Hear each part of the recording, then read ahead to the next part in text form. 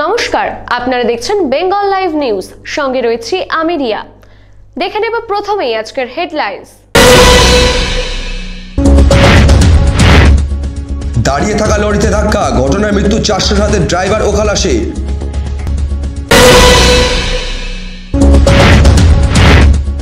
Ayushman card বিলি করা যাবে না, কৃষ্ণনগরে পোস্ট অফিসে বিক্ষোভ তৃণমূল কর্মীদের।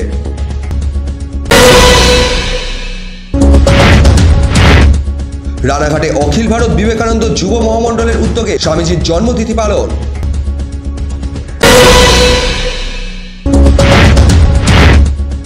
স্বেচ্ছাসেবী সংগঠনের পক্ষ থেকে এলাকায় তৈরি করে দেওয়া হলো স্কুল।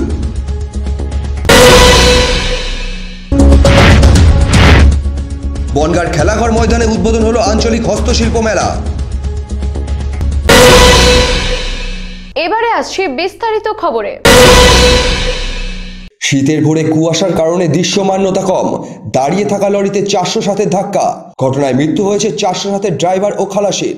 শনিবার সকালে ঘটনাটি ঘটেছে চৌত্রিশ নম্বর জাতীয় সড়কে, নদিয়ার নাকাশিপাড়ায়। মৃত দুই ব্যক্তির নাম ভজন সাহা ও জাকির আলী। সূত্রের খবর, শনিবার সকালে চৌত্রিশ নম্বর জাতীয় সড়কে নাকাশিপাড়া ফ্লাইওভারের কাছে একটি লরি দাঁড়িয়েছিল। সেই সময় বহরমপুরগামী একটি চারশো সাত গাড়ি এসে লরিটির পিছনে ধাক্কা মারলে দুর্ঘটনাটি ঘটে।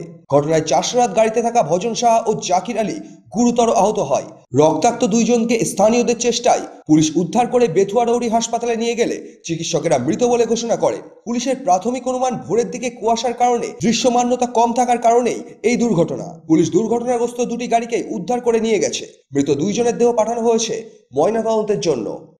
ঘটনা হচ্ছে রাত্রি আনুমানিক সাড়ে চারটে নাগাদ কলকাতার দিক থেকে আগত বহরমপুর দিকে যাচ্ছিল একটা চারশো সাত গাড়ি।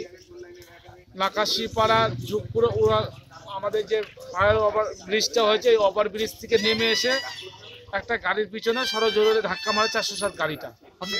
ঘটনাস্থলে দুজনের রক্তাক্ত অবস্থায় জখম হয় নাকাশিপাড়া পুলিশ। ঘটনাস্থলে যে উদ্ধার করে তাদের নিয়ে এসে বেতরি প্রাথমিক স্বাস্থ্য কেন্দ্রে ভর্তি করে এবং ডাক্তারবাবু তাদের দুজনকে মৃত বলে ঘোষণা।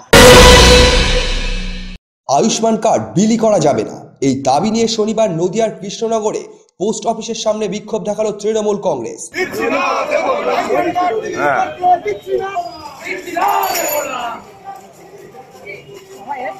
রাজনৈতিক ফায়দা তুলতে ডাক বিভাগের মাধ্যমে কেন্দ্রীয় আয়ুষ্মান প্রকল্পের লিফলেট বাড়ি বাড়ি পাঠাচ্ছে বিজেপি।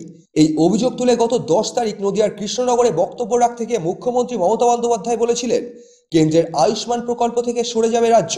আর তারপরই শনিবার কৃষ্ণনগর জেলার মুখ্য ডাকঘরের সামনে বিক্ষোভ দেখাল তৃণমূল। তৃণমূলের জেলা সভাপতি গৌরী শঙ্কর দত্তের নেতৃত্বে এই বিক্ষোভ কর্মসূচি পালন করে তৃণমূলের নেতা কর্মীরা জেলা নেতৃত্বের দাবি, অবিলম্বে এই লিফলেট বিলি বন্ধ না হলে ডাকঘরে তালা লাগিয়ে দেওয়া হবে।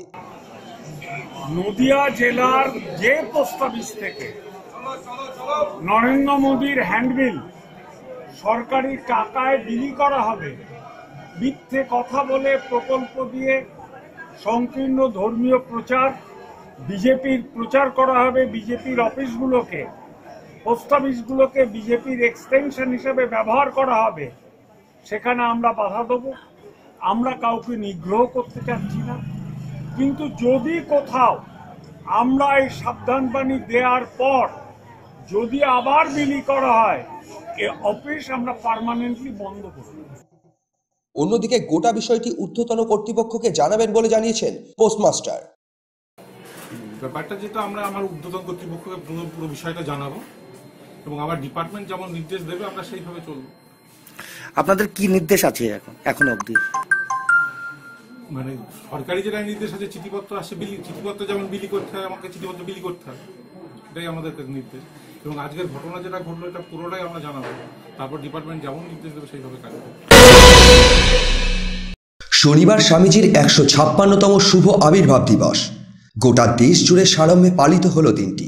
বেলুর মঠে নেমেছে মানুষের ঢল। ফুলে ফুলে ভরে উঠেছে স্বামীজির জন্মভিটেও। আর গোটা দেশের পাশাপাশি সকাল থেকেই শোভাযাত্রা ও বিভিন্ন অনুষ্ঠানের মাধ্যমে এই যুব দিবস পালন করল অখিল ভারত বিবেকানন্দ যুব মহামণ্ডলের রানাঘাট শাখা। এদিন সংগঠনের পক্ষ থেকে জানানো হয়, নিজে মানুষ হও এবং অন্যকে মনুষ্যত্ব লাভের সহায়তা করো। স্বামীজির এই চিন্তা ভাবনাকে সকলের মধ্যে ছড়িয়ে দেওয়ার উদ্দেশ্য নিয়েই উনিশশো সাতষট্টি সাল থেকে বিগত বছরগুলি ধরে স্বামীজির বাণী ও আদর্শকেই সকলের মধ্যে তুলে ধরার চেষ্টা করছে এই সংগঠন।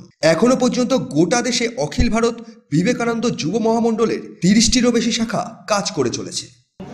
আজ বারোই জানুয়ারি জাতীয় যুব দিবস। স্বামী বিবেকানন্দের একশো ছাপ্পান্নতম শুভ জন্মদিন। আজকের এই দিনটি উদযাপন করছে অখিল ভারত বিবেকানন্দ যুব মহামণ্ডলের রানাঘাট শাখা। রানাঘাট শহরে সকালে প্রভাত ফেরি হয়েছে। এরপর আমাদের সারাদিন একটা প্রোগ্রাম রয়েছে রানাঘাট মহামণ্ডল কার্যালয়ে। সেখানে মহামণ্ডলের কর্মীবৃন্দ এবং সারদা নারী সংঘের কর্মীবৃন্দ এবং জনসাধারণ এর অনেকেই অংশগ্রহণ করবে।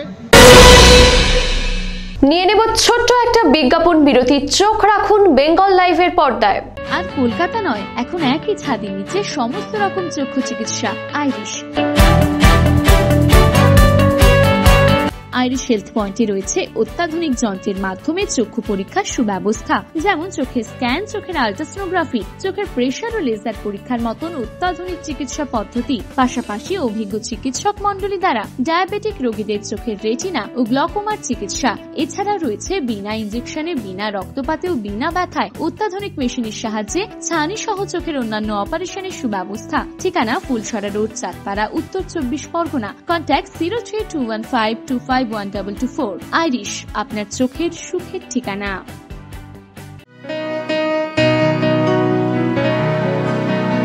বনগা শহরে হলমার্ক যুক্ত সোনার গহনার showroom, messrs J A Nath and brothers jewellers সোনার অলঙ্কার নির্মাতা ও বিক্রেতা।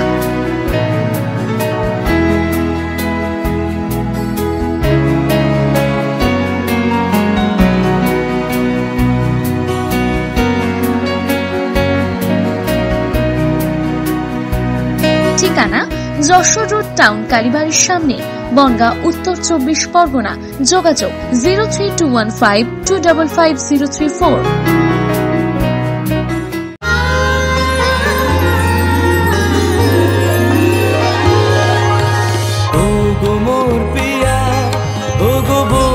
Sundari, Naba Naba রূপে আসো আহা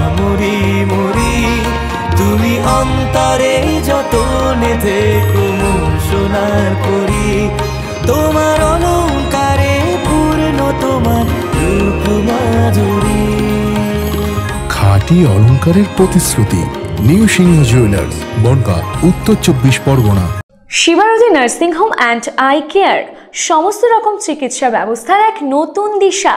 আর কলকাতা নয়, এবার আপনার এলাকাতেই পেয়ে যাচ্ছেন উন্নত অপারেশন থিয়েটার অত্যাধুনিক প্রযুক্তি, অভিজ্ঞ ডাক্তার ও চোখের অত্যাধুনিক চিকিৎসা এবং অপারেশনের সেরা পরিষেবা। এবার থেকে সমস্ত চিকিৎসা পরিষেবা পেয়ে যাবেন একই ছাদের নিচে Shibarati nursing home and eye care. থাকছে চব্বিশ ঘণ্টার ডাক্তারির ব্যবস্থা, নিজস্ব অ্যাম্বুলেন্স পরিষেবা, Shibarati nursing home and eye care. আমাদের ঠিকানা আইসতলা সন্ন্যাসী বাজার, রানাঘাট। ফিরে এলাম বিরতির পর। আপনারা দেখছেন বেঙ্গল লাইভ নিউজ। নজর রাখছি পরবর্তী খবরে। গোটা সমাজকে শিক্ষার আঙিনায় নিয়ে আসার চেষ্টা। পাশাপাশি দুস্থ শিশুদের বস্ত্রদান থেকে শুরু করে আহারের ব্যবস্থা। সারা বছর ধরেই সমাজের জন্য নানা কাজ করে আসছে মানবিক রানাঘাট নামে এই স্বেচ্ছাসেবী সংগঠন। তাই বারোই জানুয়ারি স্বামীজির একশো ছাপ্পান্নতম আবির্ভাবের শুভলগ্নে এই সংগঠন সিদ্ধান্ত নেয় ইটভাটায় কাজ করা বিভিন্ন পরিবারের শিশুদের শিক্ষাদানের ব্যবস্থা করবে। সেই মতো এদিনই একটি স্কুলের উদ্বোধন করে মানবিক রানাঘাট নামে এই স্বেচ্ছাসেবী সংগঠন। এদিন এই সংগঠনের পক্ষ থেকে জানানো হয় যে ভাটার যে বাচ্চাগুলো আছে, প্রান্তিক যে লোকগুলো আছে, বাচ্চারা আছে, যারা, তারা যাতে একটু শিক্ষা পায় এবং যারা অনাহারে কাটায় স্টেশনে বিভিন্ন জায়গায়, আমরা সপ্তাহে তাদের তিন চার দিন খাবার দেওয়ার ব্যবস্থা করি। অনুষ্ঠান বাড়ির উদ্বৃত্ত খাবার নিয়ে এসে যারা খেতে পায় না তাদেরকে খাবার দেওয়ার চেষ্টা করি। এটাই আমাদের মূল উদ্দেশ্য, যাতে কেউ অনাহারেও না থাকে এবং যতটা পারা যায় শিক্ষাটাকে ছড়িয়ে দেওয়া প্রত্যেকে যেন শিক্ষার আলোটায় চলে আসে। মানবিক রানাঘাটের এটাই মেইন উদ্দেশ্য। বনগাঁয় আঞ্চলিক হস্তশিল্প মেলার উদ্বোধন করলেন মন্ত্রী রত্না ঘোষকর। বারোই জানুয়ারি স্বামীজির জন্মতিথির শুভলগ্ন থেকে শুরু হয়ে মেলাটি চলবে আগামী একুশে জানুয়ারি পর্যন্ত। বনগার খেলাঘর ময়দানে এই মেলায় ইতিমধ্যে কুড়িটি জেলার মোট সাড়ে চারশো হস্তশিল্পী তাদের হাতের কাজ নিয়ে উপস্থিত হয়েছে। বিভিন্ন স্টলে সারিবদ্ধভাবে সাজিয়ে রেখেছেন তাদের হাতের তৈরি বিভিন্ন শিল্পকলা। আহ, আমরা বিভিন্ন ধরনের হাতের কাজ তুলে ধরছি বিভিন্ন মানুষের কাছে। এখানে অনেক ধরনের মানুষ আসছেন। যেহেতু এটা হস্তশিল্প মেলা অনেক ধরনের মানুষ আসছেন বিভিন্ন হাতের কাজ দেখতে তারা কিনছেন। স্বনির্ভর হচ্ছে মেয়েরা। আগে সেই সুযোগটা পাওয়া যেত না এখন পশ্চিমবঙ্গ সরকার সেই সুযোগটা করে দিয়েছেন। খুবই ভালো হয়েছে এটা। এর ফলে স্বনির্ভর মানে স্বনির্ভরতার লক্ষ্যটা অনেক বেড়েছে। এছাড়া অনেক শিল্পীর সংখ্যাও বেড়েছে এই সুযোগটা পেয়ে সংবাদ এখনকার মতন এই পর্যন্তই। দেখতে থাকুন বেঙ্গল লাইভ।